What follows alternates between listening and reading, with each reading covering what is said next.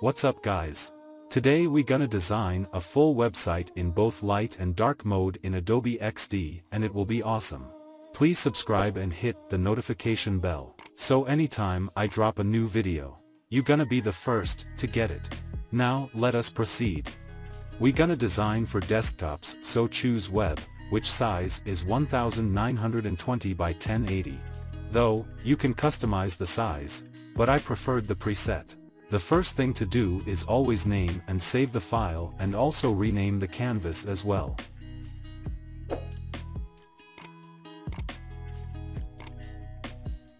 Secondly, we need accuracy for perfect positioning. Move the mouse to the left end which is the x-axis of the canvas and drag the ruler up to 60 pixels and do the same for the y-axis, but this one the space is different from the other. These help to create perfect padding for both axes.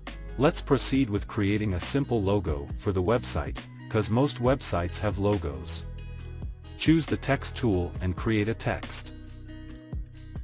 Change the font family and the font size.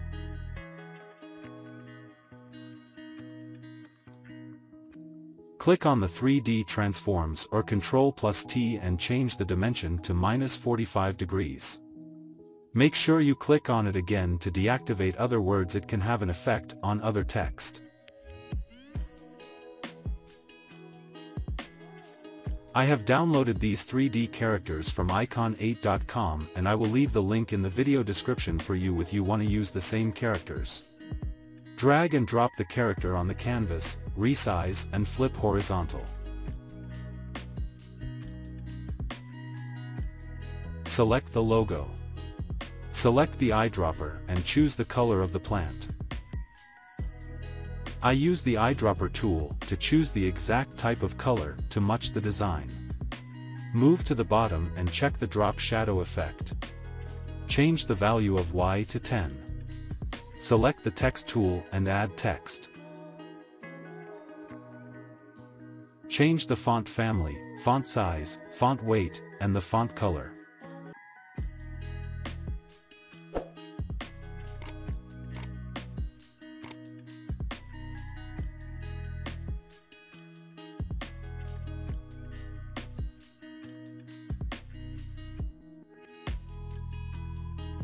I will copy and paste a few words for the paragraph and change the font size from 16 to 30 pixels.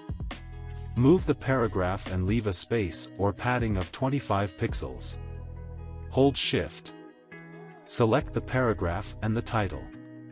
Click on Align Center horizontally to center the paragraph and the title perfectly. Select the Rectangle tool.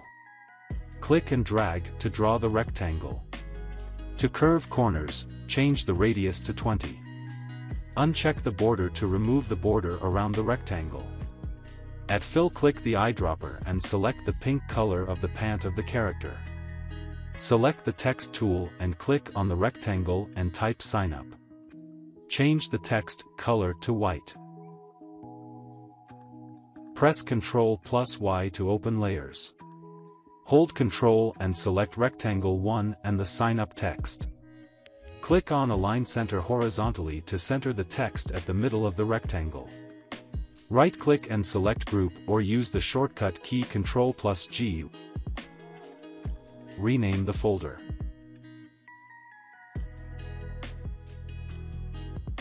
Duplicate the Sign Up button.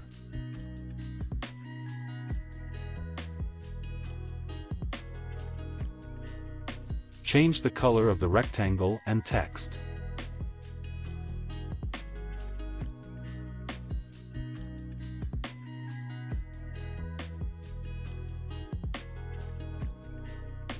Align the text and rename the folder to login.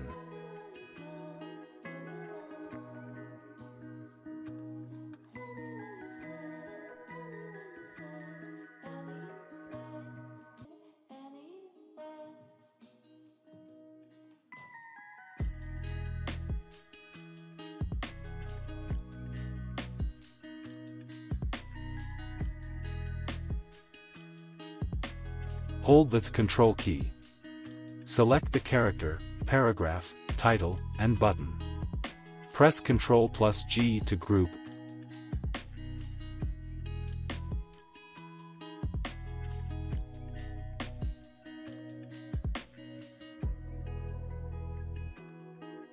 Select the canvas.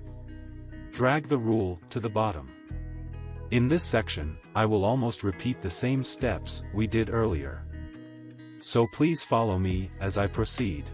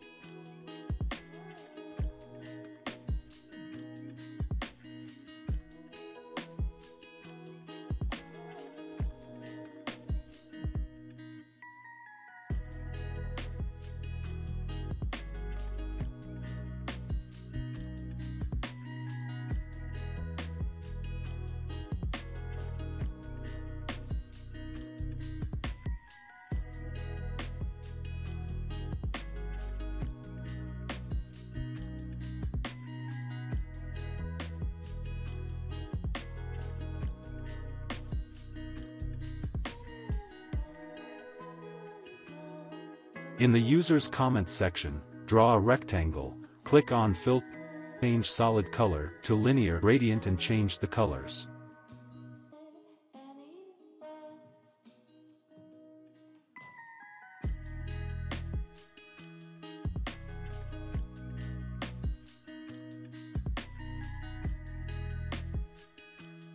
I am gonna use this avatar from dribbble.com by Cecile L. Parker also I will leave the link in the video description.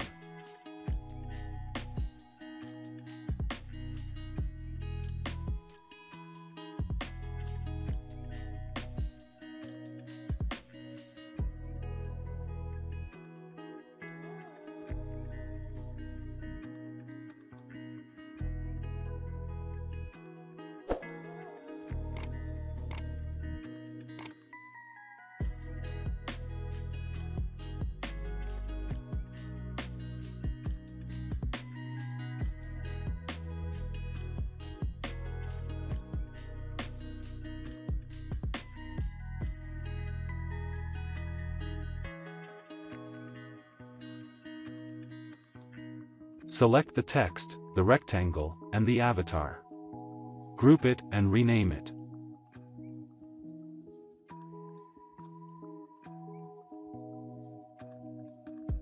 Copy and paste the folder three times.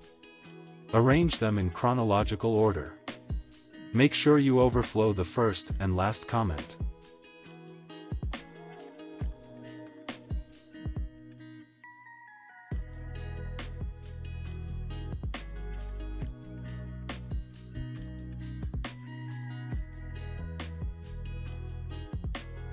Change the avatar and the names.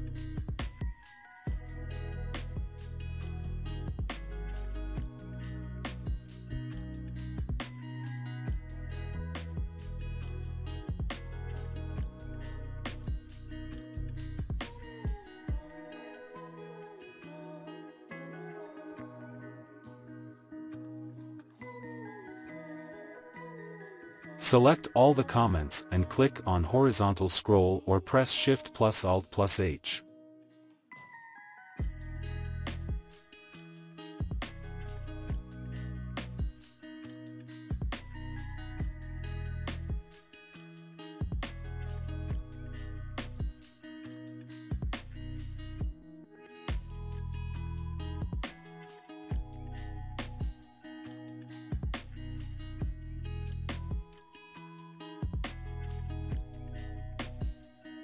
Select the text, scroll comments, and group them.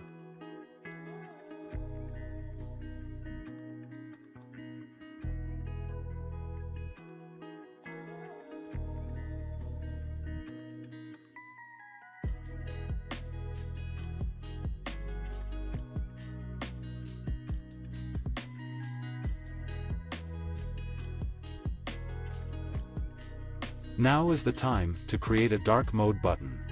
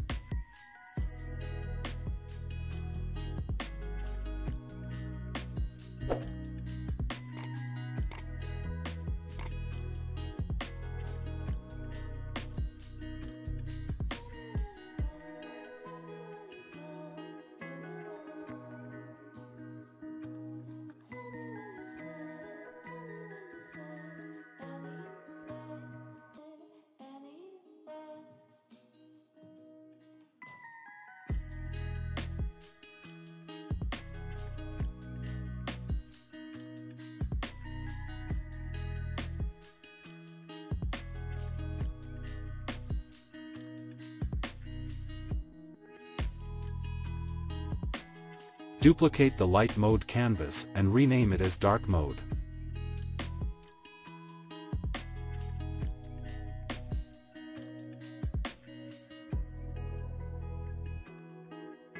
All we need to do right here is to change the color of the canvas to dark color and the text. So please do follow me as I change things in here.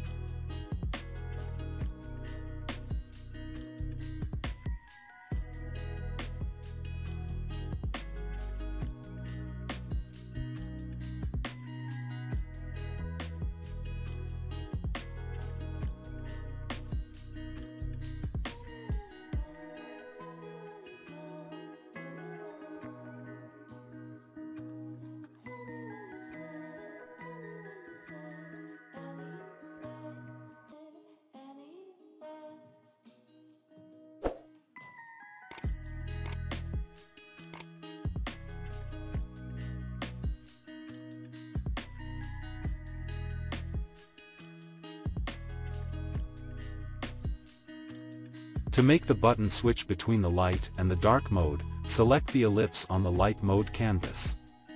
Click on Prototype. Wire to the dark mode canvas.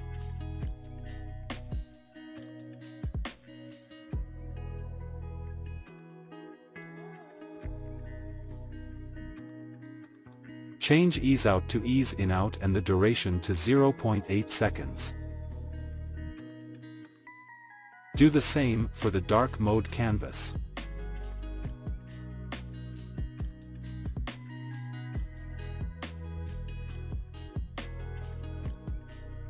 Wow! A good job is done. Let's review everything we have done.